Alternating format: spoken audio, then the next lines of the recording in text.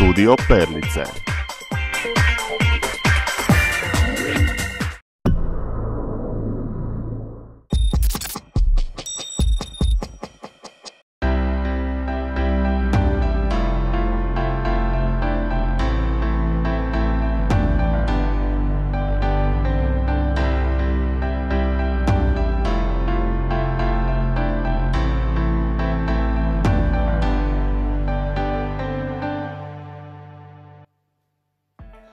Pozdrav svima, koliko vas ima?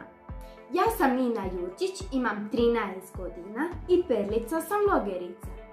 Za današnju spiku odabrala sam jabuku. Jabuka ima crvenih, žutih, zelenih, ružičastih, smeđih i šarenih. I više od 10.000 vrsta na svijetu. Svaka vrsta ima svoje ime. A meni je najdraža jabuka Fuji. Reći ću vam zašto.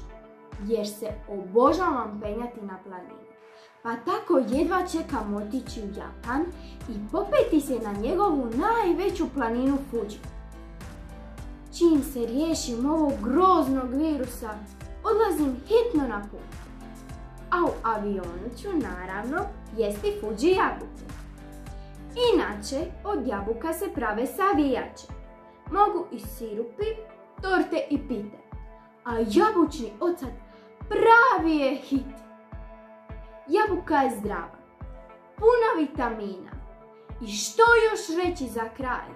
Znaj, jedna jabuka svaki dan tjera doktora van. Pozdrav svima!